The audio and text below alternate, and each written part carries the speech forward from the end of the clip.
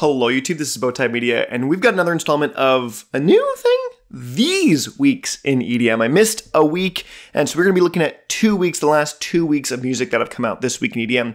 So we've got a lot of stuff to cover. Uh, 47 songs, 47 songs. I'm going to do a quick mini talk about. So I'm going to try to speed through as much as I can. There'll be all the chapter marks below if you want to see all the individual things and, and the description, all that kind of stuff. So 47 songs, and because there's so many, obviously there's one in every category: trash, bad, meh, good, and standout, and a lot in standouts. Wait till the end.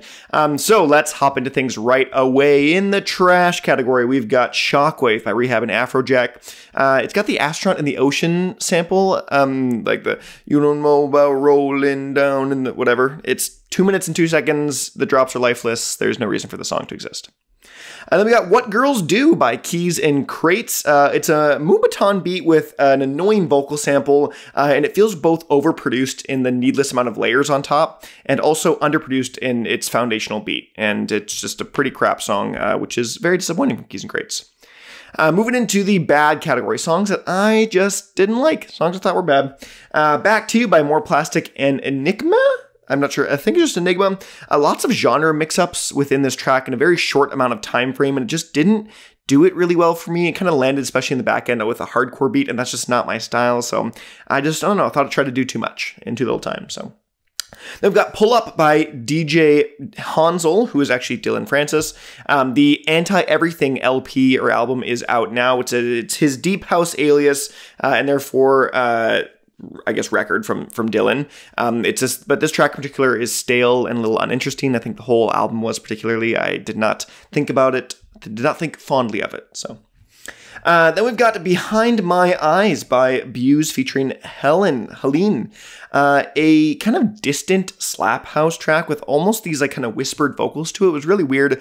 Um, it felt like the whole track was like losing air. It felt like someone grasping for air the whole time on the track. It just, it was really weird and, and just didn't sit just didn't sit with me in any real capacity, I would say.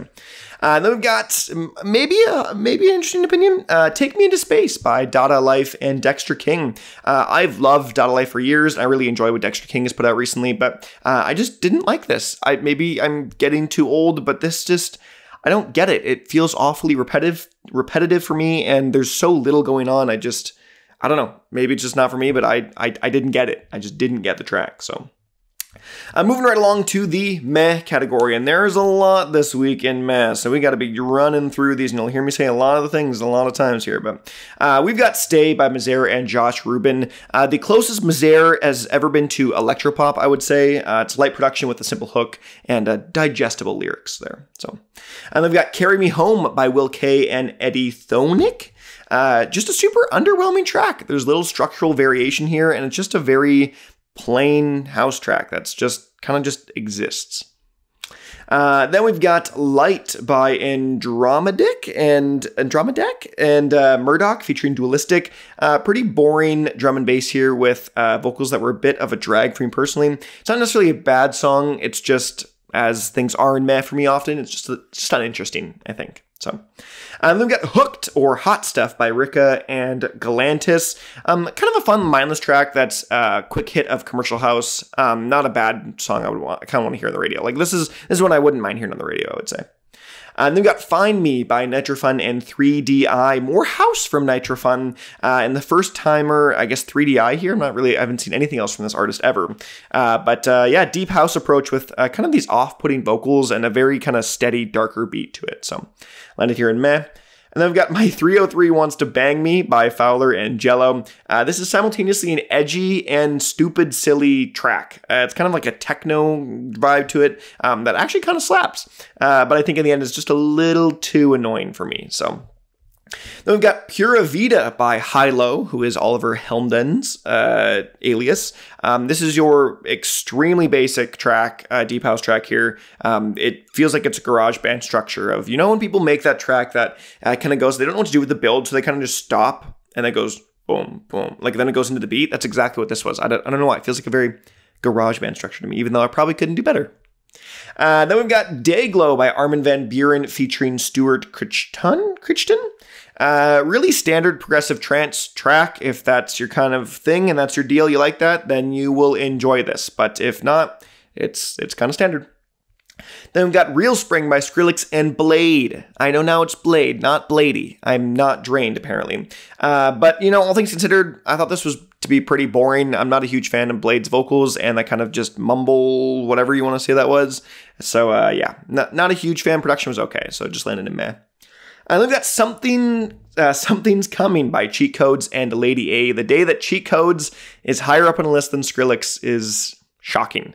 Um, the One Night in Nashville LP is out now, which is a, a mixture of both electropop and country, which is, oh my goodness, not up my alley, but some reason it kind of works. It's honestly not that bad uh, with the, what I've listened to. So uh, if that's your kind of style, you like electropop, you like country with a country flair to it, maybe you like this. But um, honestly, better than I expected it to be from what I've heard. So uh, then we've got Gamble by Huber and Prosecute featuring Michael Andrew. Uh, your very mechanized rhythm here, uh, not my flavor. It, it's a little screechy for me and a little too in your face with the vocals, uh, but uh, this thing does bang, I'll say. Bangs for sure. And then we've got Love Me a Little by Illenium featuring Nina Nesbitt. Uh, it's new, basic, melodic dubstep from Illenium. There's, it's really nothing special. It's, it's a Illenium track. It sounds like every other Illenium track you've ever heard. Is this one? Uh, then we got Together by DNMO uh, or Dynamo. I'm not sure how to say that actually. Uh, now that I'm reading, saying it out loud. Uh, but this is your very kind of basic drum and bass track in my eyes, at least. Nothing really to hold on to. It's pretty easily forgettable, I found, and uh, not quite the debut I was looking for from uh, from him on Monstercat. So. Then we've got Against the Tide by Delta Heavy and Lauren L'aimant. Uh, again, standard drum and bass here. This sounds very much like your kind of classic Delta heavy track. Um, great vocals from Lauren, but uh, pretty cooker, pretty cookie cutter in the end, all things considered. And then we've got Raver by Nanobii. Uh, this is not my style again, but a very fun track, I've got to say for sure. It's that Eurocentric happy hardcore track that just screams nostalgia. Uh, so that's that's your thing, then maybe you like that a lot. But uh, we've got the White Lotus theme, or Aloha, by Dimitri Vegas and Steve Aoki. A quick track with a bit of an Afrobeat to it. It's a great kind of beach summer track, I would say, but just needed a little bit of something more for it to land a little higher on my list. Uh, then we got Hollow by Dabin and Kai Wachi featuring Lo Spirit. Uh, two very different tones throughout this track. One trying a little bit too hard on one drop, and the other is just pretty stale, I would say. Uh, all in all, it was pretty meh, and I didn't think both either sounds were horrible, but I also didn't think they were great, so that's why it just lands in meh. Uh, and then we got All I Wanted by Kelland featuring Wailed. Uh, another short slap house track with deeper male vocals that I'm honestly just not into. Uh, it's not horrible. It's kind of your basic electro pop of sorts as well. And so, yeah, it, of all the things that I hear that I think are kind of boring, this is the one I found more interesting than others, I would say. Then the uh, next track is Spirit Showdown by Ace Aura and Focused. Uh, the Crystal Coalition EP is out uh, the second week of the, the things we've been covering, and uh, this is probably my least favorite from the EP. You'll see another song in a second here. It's a little spoiler, but uh, love the off drops of this track in particular, and didn't really love the parts where it was the actual drop. Uh, so especially not not that first drop, I wasn't a huge fan of. So if it would have taken the non-drop sections and made those the actual full songs, I would have liked it a little bit more. Uh, then we got Traces of You by Nytrix. Nytrix taking on a house with this brand new track uh, okay in the end, honestly. I think it was just man. I've never been the biggest fan of his vocals. I feel like they're a little bit more on the whiny edge for me personally. Uh, but uh, I think there's uh, yeah a decent amount of stuff here. Uh, production just fell a little flat for me to land in good.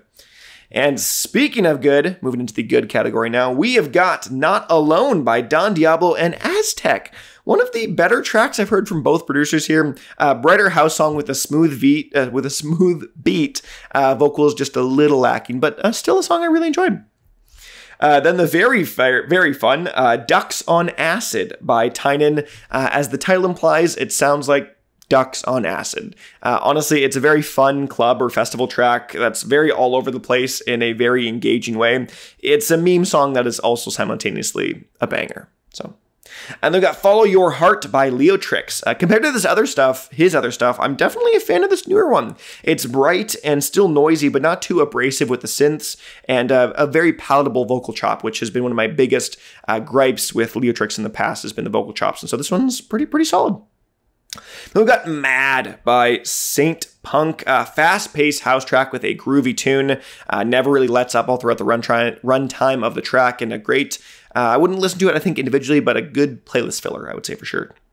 Then we've got the Keep On Rising VIP remix by Big Gigantic, originally by Big Gigantic and Aloe Blacc, um, with a very string led intro, which I did not expect. And I really, really enjoyed. Uh, definitely a more take, a better, a more intense take on the original that I found to be a much needed upgrade from the original. So that's that. And then we've got Womp Portal by Ganja White Ninja, Ninja, Ganja White Night, uh, and Subtronics. It feels like a collaboration that should have happened ages ago, honestly. The styles blend so well together and with that constant kind of deep bass line in your face hitting you over and over again uh, it's a it's a pretty solid track then we've got Step Into It by Blue Claire, nostalgic house track with not overly complex instrumentation or synths here, uh, but really engaging, I would say. So, kind of more simple track here. And speaking of more simplistic, we've got uh, "Get Through" by Koven, another kind of clean Koven D&B track here. Uh, that's again just smooth. Katie's uh, vocals are stellar as always, and um, yeah, just a fun one. We've got Real Love by Sleepy Tom and Nagiri.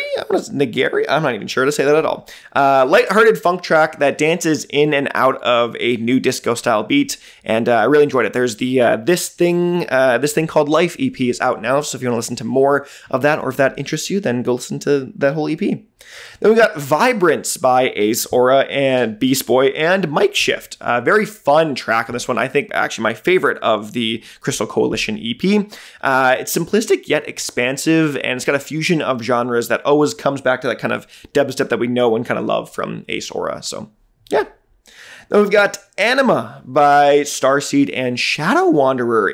a very interesting track here. I would say it's more earthly and it's got a kind of constant, not so classic four on the floor type beat, um, but still always there and hitting you in the face. Um, no real, no lyrics at all. It's just pure instrumentation, and uh, I just found it to be a really intriguing track. Honestly, the atmosphere was was really was really tight on this. Then we've got Oh Laura by S.G. Lewis. The Audio Lust and Higher Love LP is out now. Uh, this is just your really high quality dance pop with uh, more with more disco influences in it, and uh, it's a very fairly linear track. But I think some more of them on the on the LP are better. I would say, uh, but still, still, still great.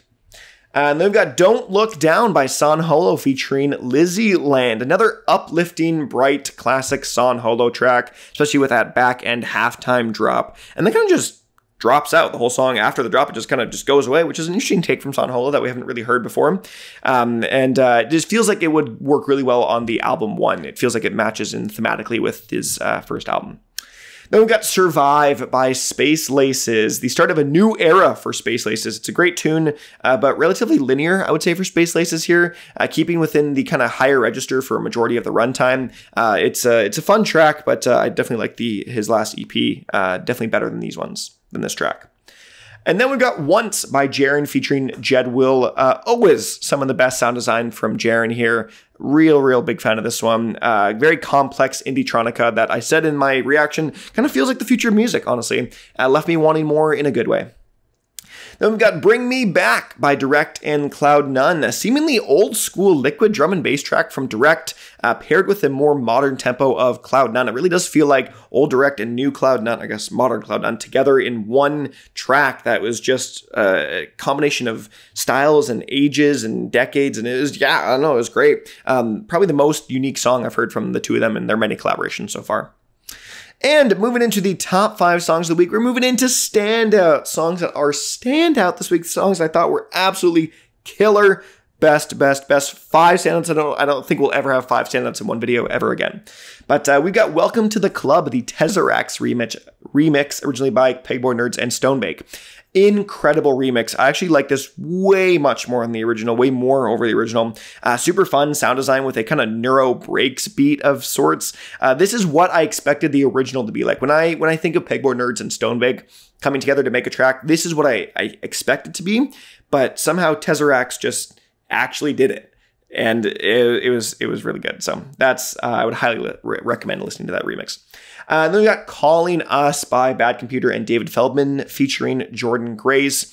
Uh, call back to a more earlier style from Bad Computer here with the more electro house driven track, um, apart from his more uh, poppy stuff as of late. And, uh, you know, I'm honestly all for it with that kind of especially dark techno drop in the back half. This thing was fantastic. It felt like a real, um, for me, uh, like nostalgia for Bad computer, even though that's not too old. Old com- bad computer isn't that old, but I think you know what I mean. Uh, this is the bad computer I know and fell in love with.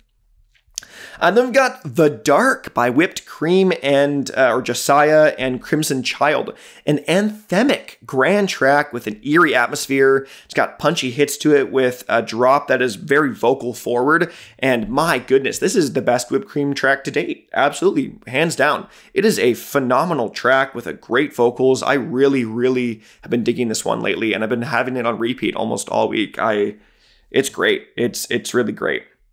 Uh, then we've got the other side by AU5 and Chime. This one I feel is a given to be here. Uh, as I've said before, it's a masterclass of dubstep sound design, uh, and it just does. It's just two titans going at it together, and it's it's just it's so good. It feels like a showcase track, honestly, if not that, where it's just kind of all these different genres and ideas all together in one. It's like here, here's what we can do. Um, it hits all your kind of styles of dubstep, and uh, it, it's it's so good. And our top track of the last two weeks, technically, is Leave Me Like This by Skrillex and Bobby Raps. Uh, the best of the, I was to say three singles I had originally, but now all four singles from the new Skrillex era. Skrillex making Bass House. That's insane. This track is amazing. It had so much hype coming into it from the uh, earlier set from Fred again, and my goodness, this track uh, is is so good. It's one of the better Skrillex songs I think I've heard maybe ever. Um, maybe that's that's I like Supersonic maybe more than this, but uh, yeah. So with that, we are finally done. 47 tracks, two weeks. My goodness, finally got through it all. If you watched through the entire video, thank you. You're the best. You're the best. Way to feed the algorithm gods on YouTube. Thank you. But uh, other than that, I'd love to hear what you guys think of all these songs. Any of them, I guess. Uh, anything I missed, put them in the comment section below. But other than that, I've been Bowtied Media, and I will see you guys in another video.